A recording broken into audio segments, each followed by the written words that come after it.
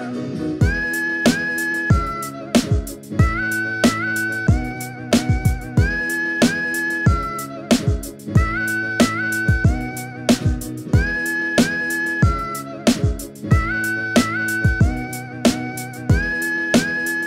guys, what's up? Welcome back to my channel. So today's video is gonna be on this makeup look right here. You guys have been requesting it like crazy.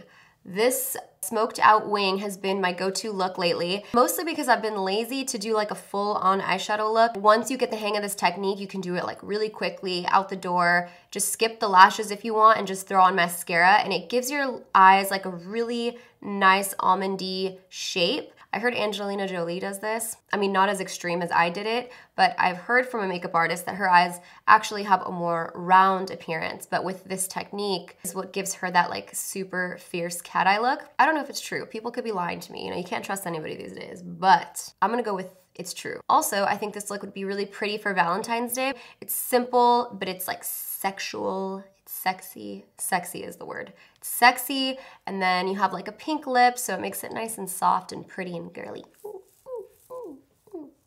That's all I have to say. Let's get started. Okay, so first we're going to pick up Sienna, my favorite eyeshadow, and this small detail shader brush by Zoeva. And all you're going to do is follow this along your lash line. And sorry if I sound like I just woke up, it's because I did. So why this eyeliner is so easy is because to get the shape of the line, you're just to follow that lower lash line straight up towards the tail of your brow. Just keep going with that line from the lower lash line up and slowly taper that eyeshadow away to a fine point. And then you're just to bring it back and just do small little motions with the brush and blend it. Take your time. It's really easy this way. It's really hard to mess up because of the eyeshadow color. It's really forgiving. You could easily wipe away anything you don't like or just blend it softly to a smoke. So now you have that wing down. You look like you're sick. That's cool. We'll fix that. Don't worry. We're going to layer fudge now and kind of do the same exact thing that we just did, only keeping it closer to the lash line on the bottom. So I'm taking an angled brush now to do this. This is also by Zoeva. It's the winged liner brush. And like I said, just to follow the same steps. I'm going right along the sienna shade we placed down. As your shades of eyeshadow get darker, you stay closer to the lash line because you don't want to cover up sienna and you just want it to kind of gradually fade. So I'm just placing this a little bit lower than the sienna and blending it all together, fusing it, fusing it all together to sound more professional.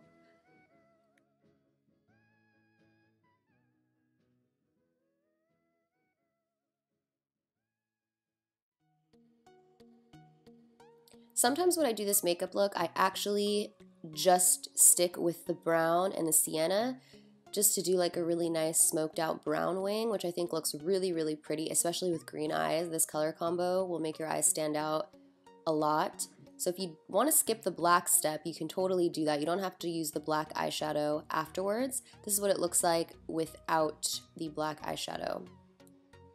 But now we're going to go in with the black eyeshadow because you know I like that drama.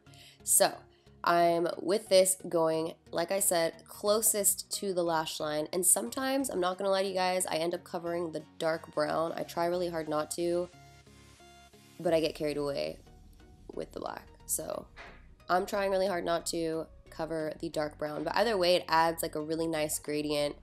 So here we go. I'm really, really packing that black eyeshadow into the lash line. Get them into the lashes so that you don't see a space between your lashes and your lash line. This step is totally optional, but I like to take my Inglot gel liner and this really small Smith Cosmetics brush. It's the tiniest liner brush that I love, and I like to just create a line in the inner corner. I'm actually taking a angled brush and just lightly winging it, like feathering it out. But see how that gives your eye more of a cat shape? I literally just follow the tear duct and make a little triangle in the inner corner. Next, I'm applying my Marc Jacobs mascara and of course my iconic lashes. These are from House of Lashes, some of my faves. I always get asked what lashes I'm wearing when I wear these. Alright, so I gave the Makeup Forever foundation another shot in the stick form and I used it only in my highlight areas, like my under eye area, because my under eyes have been so dry, like my skin in general. And this worked really well to give a really nice natural finish in that area that stayed really hydrated. So I feel like for drier skin, it looks really nice. So I'm really liking this when I do it this way. Now I'm taking in the Fit Me by Maybelline. This is the Matte and Poreless and the L'Oreal Pro Matte. I like to mix these two foundations together because I get one, a good color that I like, and two, I love the L'Oreal Infallible, but sometimes it can be a little too matte, and the Maybelline Fit Me is not as matte, so mixing them together gives me really good coverage with not such a dry matte look. I'm just using my Beauty Blender to blend that all in. Dude, I don't know why my face has been so pale lately. Like, I don't know if it's my dark hair that makes me look more pale, but I need to get a tan ASAP.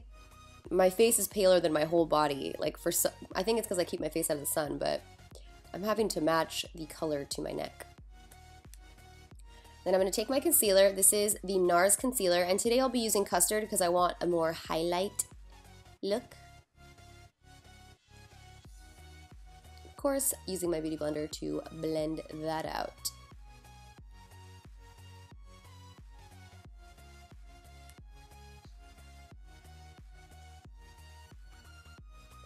Um, I like to balance out the rest of my face with highlight as well. That way I don't just have highlight under my eyes.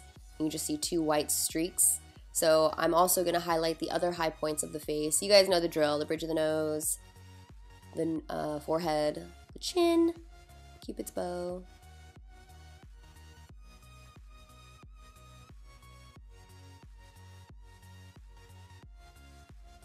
Now you're just going to want to set that Laura Mercier translucent, oh my voice just cracked, Laura Mercier translucent powder. And I like to dip my Beauty Blender in it very lightly. I'm not going to use a crap load of this or bake because if your skin is dry and you try to bake, it's not gonna look good. You're gonna look like Yzma from Emperor's New Groove. That's what happened to me. So I'm just light layer. And then I'm taking my MAC Sheer Pressed Powder. This is just like a setting powder and setting my makeup. And of course, MAC Give Me Sun. You guys know this is where I live. I tried to use a different bronzer and Steven said, why aren't you using MAC Give Me Sun? And then I was like, you're right. I need to use MAC Give Me Sun. So I did.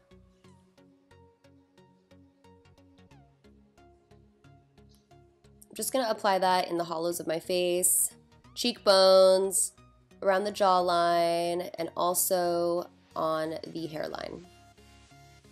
Now I'm to mix two of the Anastasia Beverly Hills contour shades lightly and give myself a slight contour to make those cheekbones pop. I'm just laying down the product first because I don't want a lot, so I'm just laying it on both sides and then I'm to blend it all out. For blush, I'll be using MAC Pinch Me. I love this color. I feel like it just gives your cheeks that really nice, pretty, flirty, flushed look. It's nice and pink. I'm applying a lot because little tip is that blush is the first thing to fade out of all your makeup. So if you're to go out, apply a tiny bit more blush than you would because it will fade the quickest.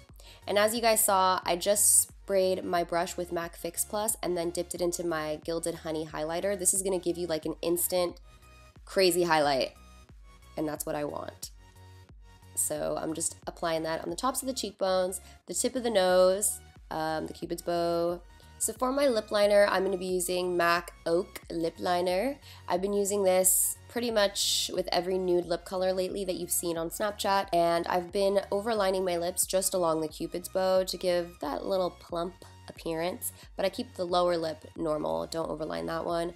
And then for my lipstick, I'll be using MAC Kinda Sexy, which is one of my old favorites. It's just, again, a really fresh color and it has like a pink undertone to it. And then just set your face with some Fix Plus. Just set the face give yourself a few spritz, and you're done. Alright, so that's it for the tutorial. I really hope that you guys enjoyed this video. Let me know how this technique works for you guys if you do decide to try it. And if you do, don't forget to tweet me your photos and or Snapchat me. I see the Twitter photos more than I do any other platform. That's why I tell you guys to tweet me.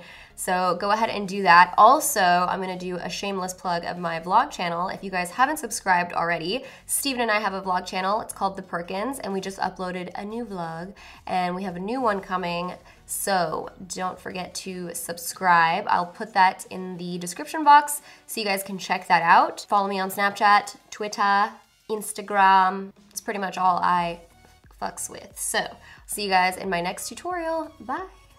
Okay. Did I listen all to? Shit. Fly with me. For the what the